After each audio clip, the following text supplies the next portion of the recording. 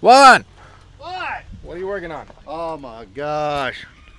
So we're working now on this 2005 uh, Pierce uh, Aerialscope platform. We're replacing all the rear brakes, new rotors, new calipers, new slack adjusters, and we're working with Josh and Mike. Where you at?